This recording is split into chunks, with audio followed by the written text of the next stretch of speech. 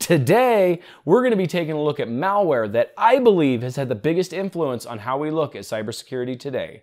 Stay tuned.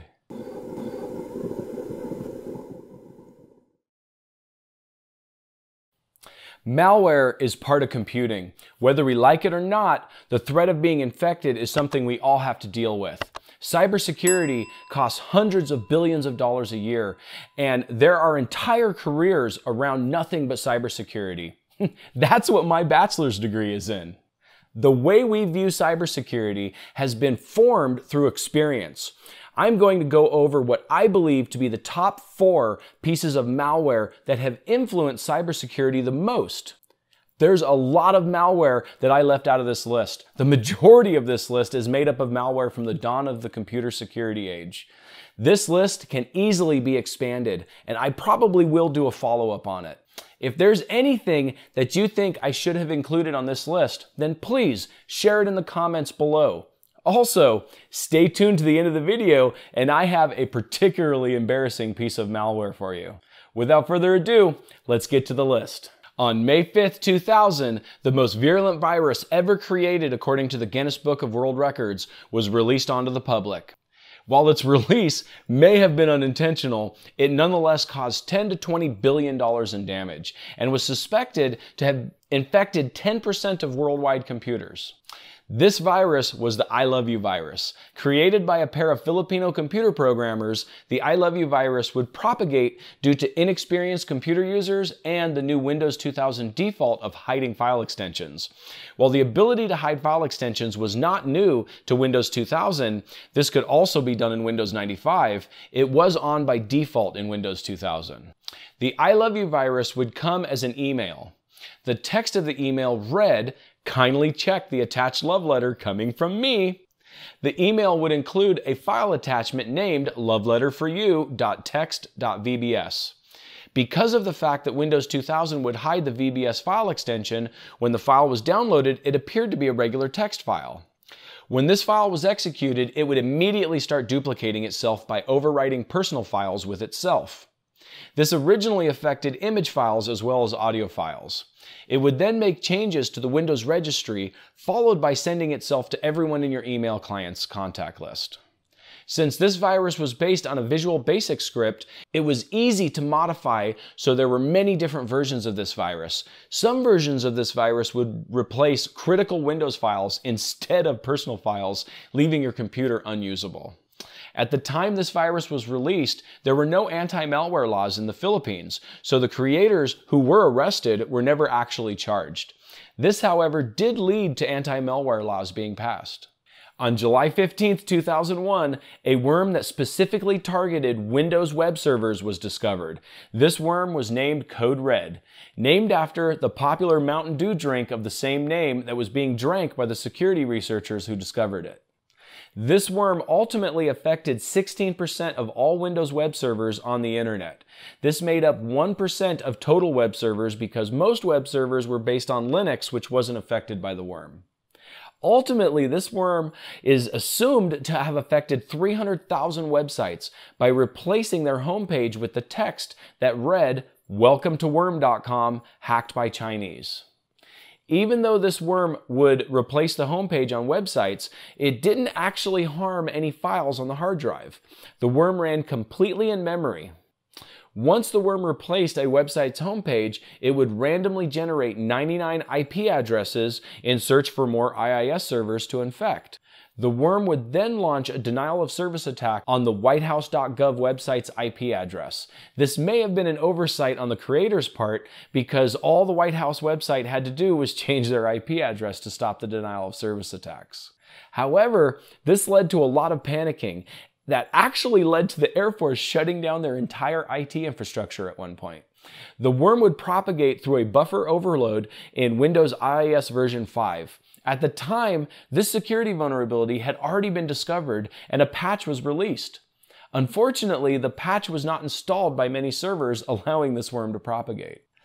It's estimated that this worm cost $2.4 billion in damage. However, recovering from the worm was actually quite simple. Since the virus only affected system memory, the affected server simply needed to be rebooted, and once rebooted, the required security patch needed to be installed to avoid the server from being reinfected. Hello, IT? Have you tried turning it off and on again? No one knows who created Code Red. Some believe it was the Chinese government because, you know, of the text that replaced websites' homepages that simply said hacked by Chinese. However, this very well could have been a red herring. The Chinese government denies any involvement in Code Red, and honestly, it could have been anyone. We may never know. It was March 26, 1999. This was the last year of the decade that started the internet. Since 1993, AOL had been sending floppy disks in what will later be known as the largest and most aggressive direct mailing campaign in history. Everyone was getting on the internet, but what people weren't doing is understanding the dangers of the internet. It was the perfect timing for the Melissa virus. The Melissa virus was more embarrassing than destructive. You would receive an unsuspecting email in your inbox from someone that you knew. The subject line simply read important message. When you open the email, you are greeted with the text, here's your document you asked for, don't show anyone else, followed by a text winking emoji. The email came with an attachment named list.doc. Once you open this attachment, a bunch of porn sites would open up on your computer and the virus would send itself to the first 50 people in your address book. You know, generally it's not a good idea to click on any internet offers that you haven't requested. The embarrassing part about the virus is that the people who received it believed it came from you. Let's hope your mother wasn't one of the first 50 people in your address book. The Melissa virus propagated using the macro system in Microsoft Word. Macros are used by Microsoft Word to be able to perform repetitive tasks. If you need to make the same edit several times in a single document, you could create a macro to create these edits for you. This was a very powerful system, as the Melissa virus proved. Ultimately, the Melissa virus caused about 80 million in damage. It didn't actually cause any damage to the computers that it affected, and the majority of that money was based on loss of productivity and the massive overload that email servers had to deal with because of the virus. The programmer who created the Melissa virus was caught about a week after the virus was released. He was sentenced to 20 months in prison and had to pay a $5,000 fine. He said that he named the Melissa virus after a stripper that he had met in Miami, Florida. Sounds like he was kind of a perv. On April 30th, 2004, many Windows users were greeted with a shutdown timer telling them that the LSASS service had crashed. I was among those users. This worm would be known as Sasser. The Sasser worm wasn't incredibly destructive to the system itself, but it was quite annoying. It actually turned into a very disruptive virus. It affected millions of computers and led to taking down critical infrastructures like airlines, news agencies, public transportation, hospitals, and even universities. Boy, that escalated quickly. I mean, that really got out of hand fast. Sasser would propagate by connecting to vulnerable computers by the TCP port 445 and 139. The vulnerability in which Sasser exploited had already been patched, and it's speculated that Sasser was created by actually reverse engineering the patch itself. The reason why Sasser was able to infect so many computers was because not many computers had installed the security patch. This is why Windows Update is so important. It's estimated the Sasser worm caused about $18 billion in damage. Also, I personally believe that it was because of the Sasser worm that we now have the Windows firewall.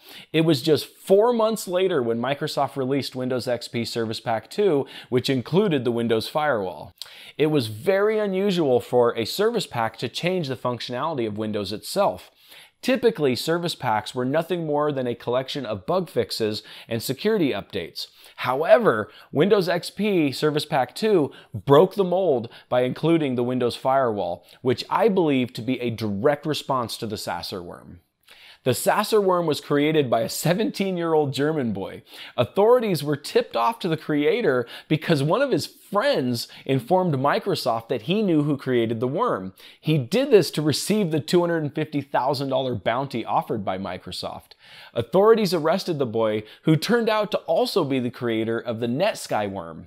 Because he was under 18 when he wrote the virus, he received a 21 month suspended sentence. As I said at the beginning of the video, malware is just part of life. The internet is probably one of the biggest revolutions in human history. It has given us the ability to communicate and do commerce globally. The connectivity that we have today has been a tremendous benefit to mankind. However, that benefit has not come to us without its downsides. We will always have to deal with security issues. The more connected we get as a society, the more security issues are going to affect us. The malware industry can trace its roots back to some pretty intelligent people that were just trying to get bragging rights. Many early viruses were written for the sole purpose of someone being able to say, I did that. Many of these people grew up and decided to make a career out of it. Today, malware isn't as obnoxious as it used to be. That's because it's harder to make money off of obnoxious malware. Today, malware is used as monetization. So instead of viruses like Melissa opening up a bunch of porn sites and then emailing the list off to your family and friends, today it just tries to steal your credit card number. So we must stay vigilant in keeping our computer secure. I did a video a while back where I go through the steps to keep yourself secure on the internet. I'll go ahead and tag that video right here. I urge you to take a look at it. While we're here, I just wanted to let you know that I also have a website at CyberCPU Tech. This website includes all of the show notes from the videos on this page. Eventually, I'll have merch on this website as well. In the meantime, all the shirts that I wear in these videos are available in a link in the description below. Also, follow me on social media. I'm on Twitter at CyberCPU, as well as Instagram at CyberCPU as well. Now, for that bonus malware I promised you. In September 2011, Apple had to stop claiming their operating system was immune from viruses. Apple had been able to use their lack of viruses as marketing against Microsoft Windows for a long time. Unfortunately, thanks to the flashback Trojan, this marketing seemed kind of outdated. Do not be a hero. Last year there were 114,000 known viruses for PCs. PCs, not Macs. So you just grab this. I think I got a crash. Hey, if you feel like that'll help. The Flashback Trojan would disguise itself as a fake installer for the Adobe Flash Player. The Flashback Trojan ended up infecting 600,000 Apple computers. However, luckily, because Apple's have a Unix-like structure, the Trojan was only able to affect the user account that was originally infected. The Flashback virus formed a botnet that actually included 274 bots in Apple's hometown of Cupertino, California. This Trojan was created by a 30-year-old man from Russia as of the recording of this video, I do not believe he's been brought to justice, but he sure did embarrass Apple. If you enjoyed this video, then please like it. Also, don't forget to subscribe to my channel and hit that bell icon so you can be notified of future videos. I post a new video every week. Hey, and while you're here, take a look at some of these videos up here. Have a great day.